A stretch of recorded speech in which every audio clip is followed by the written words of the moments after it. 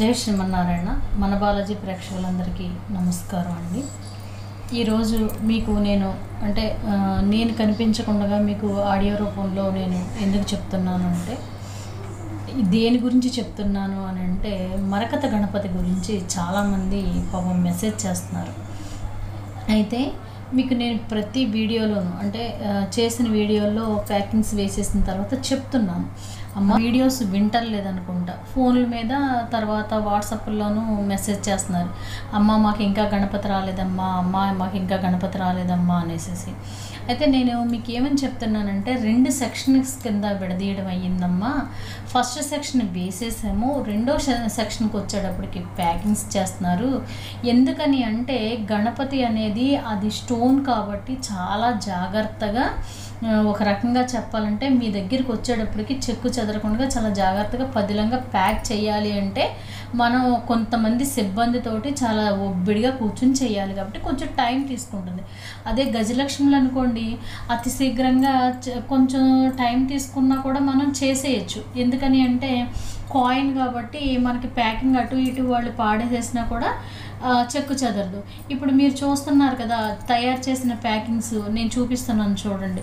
మరి ఎందుకని అంటే అంత జాగ్రత్తగా చేస్తేనే కానీ మీ దగ్గరికి రావు. కొంతమంది ఏమని బాధపడుతున్నారు? అమ్మ మాకు రావట్లేదమ్మా మాకు లేట్ అయిపోతుంది మాకేమో ఎలాగా ఏంటి అని కంగారు పడుతున్నారు.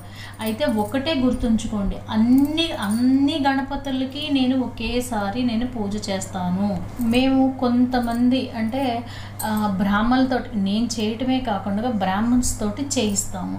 నేను కొన్ని విగ్రహాలు పెట్టాలి అని అనుకున్నాను అన్ని విగ్రహాలే పెట్టడం జరిగింది అన్ని విగ్రహాలు పూజలో పెట్టి మేమందరం పూజ చేయటం కూడా జరిగిపోయింది.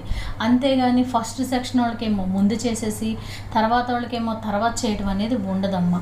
ఎందుకంటే అన్నీ కూడా భగవంతుడి మంత్రంతో పునీతమయ్యే మీ ఇంటికి వస్తున్నాయి. కాకపోతే కొన్నేమో ముందు చేసేసి పంపించేద్దాం కొన్నేమో తర్వాత చేద్దాము అనేసి పెట్టుకున్నారు కాబట్టి అలా చేయిస్తున్నారు. కాబట్టి మీరేం కంగారు పడద్దు.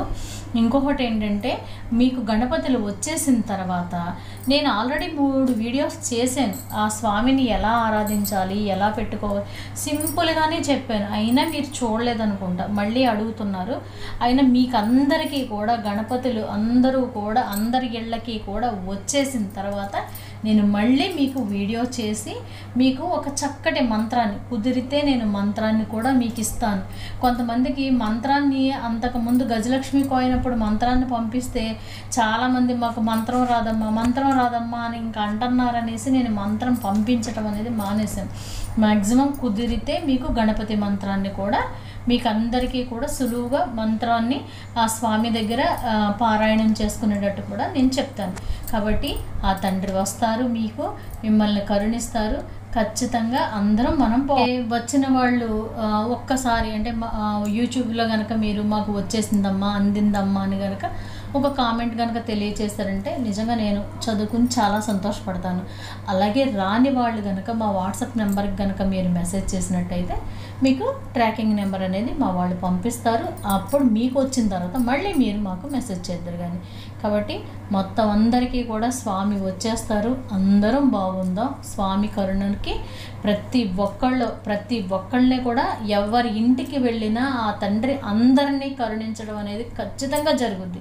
ఎందుకంటే ఇది నేను ఒక రకంగా చూసి నేను అంతకుముందు ఇచ్చిన తర్వాత వాళ్ళు పూజించిన తర్వాత వాళ్ళు ఎంత చక్కగా ఉన్నతంగా ఎదిగారు అన్నది నేను ఇంకా మీకు నేను చెప్పను కానీ మీకు మీకే అర్థమవుతుంది. సరే. తర్వాత నెక్స్ట్ వచ్చేటప్పటికి అమ్మ దీపావళికి ఏంటమ్మా దీపావళికి ఏంటమ్మా అంటున్నారు. కాబట్టి మీకు నెక్స్ట్ ఇంచుమించుగా రెండు మూడు వీడియోల్లోనే మీకు నేను తెలియచేస్తాను.